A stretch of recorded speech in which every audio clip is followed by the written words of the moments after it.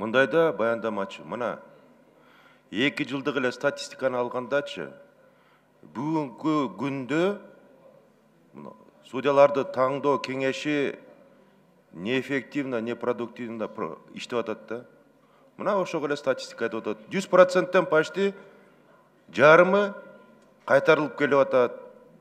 Сиз мага айтыңызчы эмне кылсак болот? Ушунучу.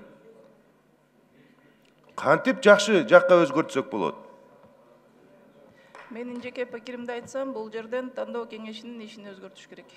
Катуураак айтсаңыз тандоо кеңешинин негизи тандоонун тартибин өзгөртүш керек.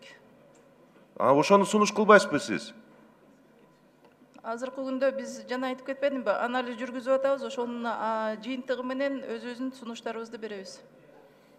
Мына биз акыркы эле жылдарычы сот системасын реформа кылабыз реформа кылабыз деп жаңы эки конституционный закон кабыл алдык бирөө тартип комиссиясын киргиздик туурабы жаңы подразделениялар структурага бирөө силерди совет по отбору судей.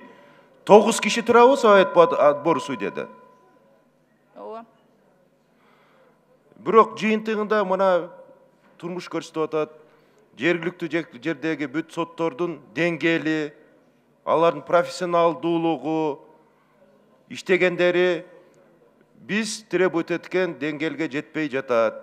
Ошон үчүн сизчи? Төрайым бул деген мындай да бул сиз алып келген өзгөрүү бул локальный эпизодический алып келдиңер да негизги жана бүт системаны оңдой турган критерийлерди жана конкурстарды башка формада кыла турган болсоңор ошону алып келбейсиңер булучу эске алабыз сиздин айткан пикириңизди. Мына практика көрсөттү совет по отбору судей неэффективно работают.